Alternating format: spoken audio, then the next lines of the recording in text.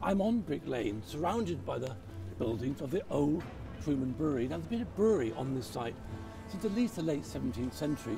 This is at the heart of historic Spitalfields. It is too important a site to be left simply to uh, the private owners at the moment. So, what the Spitalfields Trust has done to move things forward is to hold an exhibition. The exhibition puts forward an idea of a master plan, whether all the site is considered, again, for, for the public benefits it can offer housing and workshops and open space.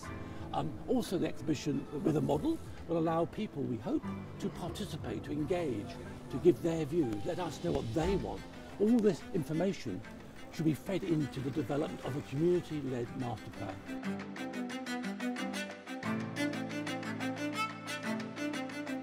My name's Louis Schulz, My name's Shay Delican. And we're from Assemble, which is a design and architecture practice based in London.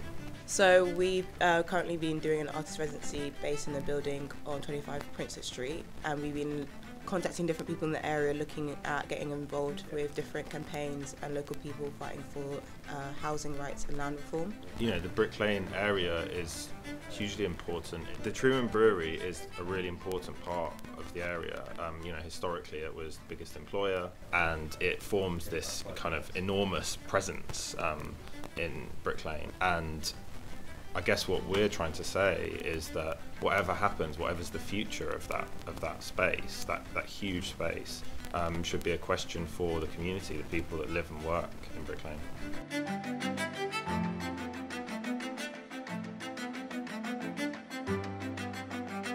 Uh, My name is Sebastian Harding and I'm an artist.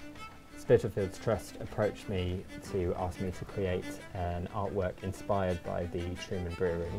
One of the things that I wanted to do with this commission was create something that would be of interest both to people who are architecture enthusiasts but also to people who um, live in the area, who might know the buildings from having used them, having shopped in them.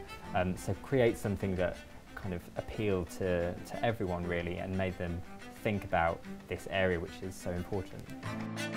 This site is privately owned and um, really it is too large to be developed privately for private profits. It is so important, not just to Spitalfields and the people who live and work here, but for London as a whole. It has to be considered as a great public asset and developed for the public benefit. So the Trust is trying to evolve a community-led master plan. The first stage is to invite public participation, talking to people who live and work here. What do the people want? What do they need for this area to thrive, to continue being a very special part of London?